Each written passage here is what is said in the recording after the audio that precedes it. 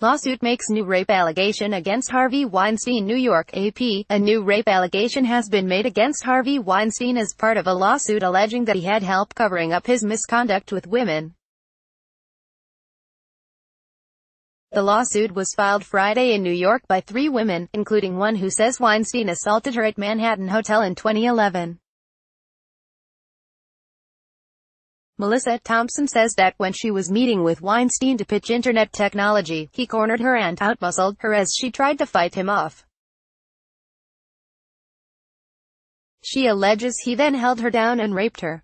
A lawyer for Weinstein did not immediately respond to a request to comment. Weinstein has denied sexually assaulting anyone. The lawsuit is seeking class action status to represent what it says is hundreds of women victimized by Weinstein and what it describes as his enablers.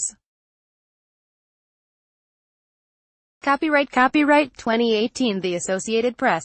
All rights reserved. This material may not be published, broadcast, written or redistributed. Advertiser content.